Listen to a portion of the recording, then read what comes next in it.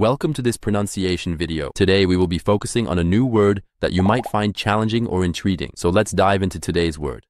Boursouflure, which means Swelling, blister, or puffiness on a surface, exaggerated expression.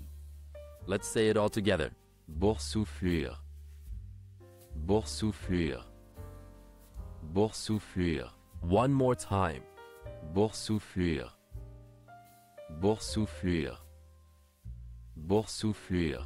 Thank you for joining us on this adventure in pronunciation. Remember, language is a journey, not a destination. Keep exploring, experimenting, and expanding your linguistic horizons. We'll see you next time.